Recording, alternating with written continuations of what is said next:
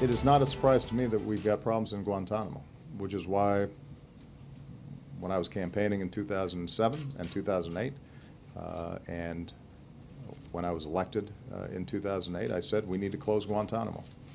I continue to believe that we've got to close Guantanamo. As much as the president and plenty of his peers would like us to believe, the issue of Guantanamo Bay has not gone anywhere, merely melted for the moment behind other global crises.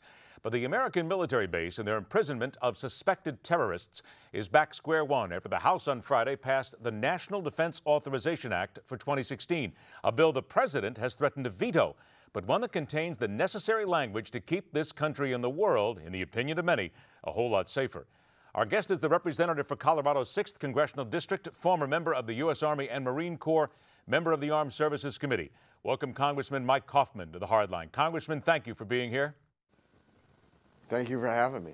Congressman, what is the president missing in all this? Because we have proven time and again that if you let some of these people back into the basic general population, they will go back to their own ways. But he says he will veto it. What's he missing?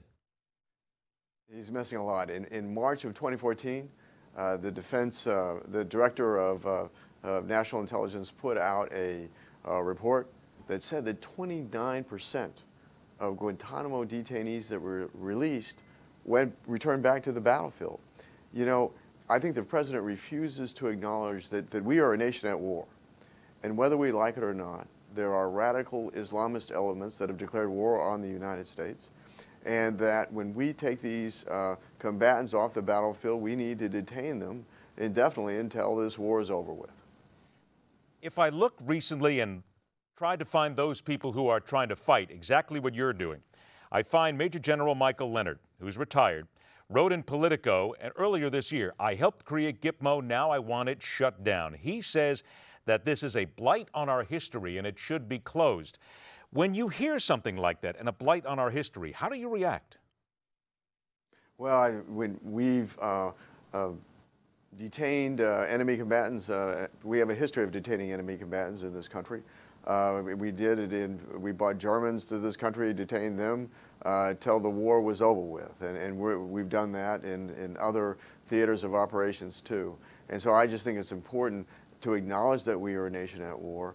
It is important to acknowledge, acknowledge the dangers that these enemy combatants pose when released uh, back, back and allowed to return to the battlefield. This is a very danger, dangerous situation, dangerous to uh, American security interests, and the president needs to uh, get off of, of, trying to define American foreign policy and national security along the lines of his his campaign pledges. He he he, he got us into trouble uh, with this 2008 uh, campaign pledge to close Guantanamo, and he's gotten us into trouble uh, with, with his campaign pledge as well to end the war in Iraq, which he pulled all of our forces out uh, in 2011 uh, and created an opening for the situation we have today with ISIS. Congressman, with his stubbornness in saying that he will veto this bill, is it not just that we have to look at reality? Nothing here will change until this president is out of office and somebody else gets into office that understands who and what is in Guantanamo. You will not, and there's no way to change this man's mind. Well, the, the president is trying to close Guantanamo uh, now uh, by releasing, you know, detainees, sometimes certainly uh, in violation of law, such as in the Bergdahl case, where he failed to notify Congress uh, in accordance to uh, a law that he had signed. And so, uh, you know, I think it's, it's, it's just problematic. I'm going to support keeping it open and I hope that the next commander-in-chief uh, util fully utilizes it. When the president complains about the cost per prisoner, it's merely because of the he's released so many and the number of prisoners are so low, and the fact that we're not putting anybody into Guantanamo uh, who, who we're taking off the battlefield. I think it's a very dangerous uh, situation for American national security. And I think the president is absolutely wrong on this issue. I've got about a minute left here. In your opinion, those individuals that are still at Guantanamo, if they were to be released back into the general population in any country, will they then pose a threat and come back and make sure that their compatriots strike hard at America with what they've learned? They are committed uh, combatants against the United States.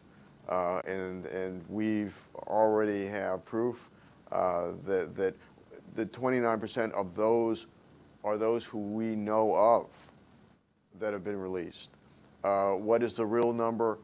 We don't know. It's obviously higher. We, we're putting this country at risk uh, anytime we release a, a Guantanamo detainee uh, uh, into, even into uh, the hands of a foreign country, even in Qatar. Uh, we have found that the, the, the, the, the those five uh, uh, Taliban leaders that were released in exchange for uh, now Sergeant Bergdahl uh, who have in fact been in contact uh, with terrorist elements and, and will join the fight when they can. It is absolutely frightening to think that they will come back and strike again. Congressman Mike Coffman, we thank you so much for your time. We'll follow the story. Look forward to speaking with you again.